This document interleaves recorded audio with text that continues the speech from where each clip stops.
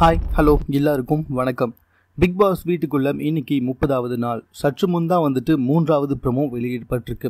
இந்த மூன்றாவது ப்ரமோவில் ரெண்டு பேர் வந்துட்டு வாக்குவாதத்தில் ஈடுபடுறாங்க. ஒன்று பாலாஜி இன்னொன்று ரியோ ரியோ சுரேஷ் சாருக்கு வந்துட்டு வாக்கத்தில் மீன் சுரேஷ் சாருக்கு பதிலாக பேச வராரு.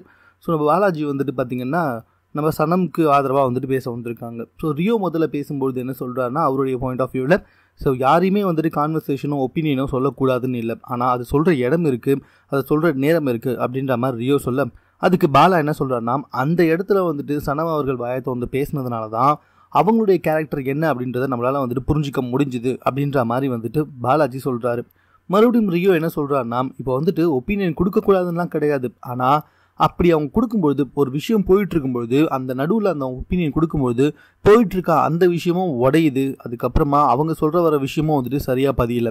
ஸோ இதனால தான் வந்துட்டு அப்படி சொல்கிறேன்னு சொல்லும்போது பாலா என்ன சொல்கிறாருன்னா ஸோ இந்த மாதிரி குறுக்களை யாரும் நீங்கள் பேசக்கூடாதுன்னு சொல்கிறது அவங்கள ஸ்டாப் பண்ணுங்க அப்படின்னு சொல்கிற மாதிரி இருக்குது ஸோ இதுக்கப்புறம் நாளை பின்ன எதாவது நடந்தால் யாருமே வந்துட்டு ஒப்பீனியனே சொல்ல வரமாட்டாங்க அப்படின்ற மாதிரி பாலாஜி சொல்கிறாரு ஸோ நம்மளுடைய ஜட்ஜி இருக்காங்க பார்த்தீங்களா சுசித்ரா அவங்களும் வந்துட்டு பாலாவுக்கு சப்போர்ட் பண்ணுறாங்க ஸோ இதுதான் வந்துட்டு மூன்றாவது ப்ரமோவில் ஈடுபட்டிருக்கு.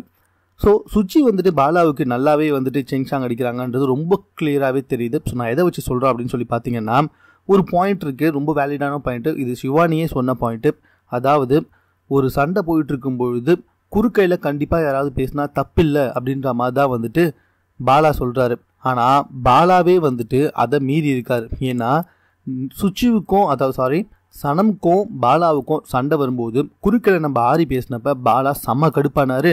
முதல்ல இவர் எங்கேயாவது தூக்கிட்டு போங்கப்பா அப்படின்னு சொல்லிட்டு அந்த இடத்துல கோவமும் பட்டாரு ஆரி மேலே. அப்படி இருக்கும்போது அவரே வந்துட்டு சண்டையில் யாராவது குறுக்க வந்தால் தப்பில்லைன்னு சொல்கிறது ரொம்ப விசித்திரமாக இருக்குது ஸோ என்னதான் வந்துட்டு பாலா சேஃப் கேம் ப்ளே பண்ணாலும் அவரே வந்துட்டு பயங்கரமான தவறுகளை பண்ணிட்டு இருக்காரு அப்படின்றதுல எந்த ஒரு டவுட்டுமே கிடையாது. மேலும் புதுசாக வீட்டுக்குள்ளே வந்திருக்க சுசித்ரா பாலாவுக்கு பயங்கரமாக சிங்சாங் அடிக்கிறாங்க. கமல் சாரே அரகண்ட்டுன்னு சொன்னார். ஆனால் நீங்கள் பேசுறது அரகந்து கிடையாது ஸ்ட்ரெயிட் ஃபார்வர்டு தான் அப்படின்ற மாதிரி சொன்னாங்க. அது மட்டும் கிடையாது சிவானிக்கும் பாலாக்கும் வந்து நடுவில் ஒரு நல்ல இது போயிட்டுருக்கு. அது மக்களுக்கு பிடிச்சிட்ருக்கு அப்படின்னு சொன்னாங்க. அதை வந்துட்டு நம்ம சுரேஷ் சார் வந்துட்டு என்ன பண்ணார்னா சிவானி கிட்ட அதை எடுத்துன்னு போய் சேர்த்துட்டாரு. இதனால ஷி சுரேஷ் சார் மேலே கடுப்பாக இருக்காங்க சுச்சித்ரா ஸோ அதனால தான் வந்துட்டு பாலாவுக்கு சப்போர்ட்டாக அவங்க திருப்பி சொல்லியிருக்காங்க அப்படின்றதும் தெளிவாக புரியுது. ஆனால் ப்ரொமோ பார்த்து எதுவுமே முடிவு செஞ்சிட முடியாது. ஸோ எதுவாக இருந்தாலும் வந்துட்டு இன்னைக்கு ஃபுல் எபிசோட் பார்த்தா தான் என்ன என்பது நமக்கு தெரிய வரும். மேலும் இது போன்ற செய்திகளை உடனுக்குடன் தெரிந்து கொள்வதற்கு நம்ம சென்னை சேனலில் சப்ஸ்கிரைப் பண்ணுங்க. இது குறித்த உங்களுடைய கருத்துக்கள் எதுவாக இருந்தாலும் கமெண்ட்ல நீங்க பதிவு செய்யலாம். இன்னைக்கு ஃபுல் எபிசோட் பார்த்தா தான் என்ன என்பது நமக்கு தெரிய வரும். மேலும் இது போன்ற செய்திகளை உடனுக்குடன் தெரிந்து கொள்வதற்கு நம்ம சென்னை சேனலில் சப்ஸ்கிரைப் பண்ணுங்க. இது குறித்த உங்களுடைய கருத்துக்கள் எதுவாக இருந்தாலும் கமெண்ட்ல நீங்க பதிவு செய்யலாம்.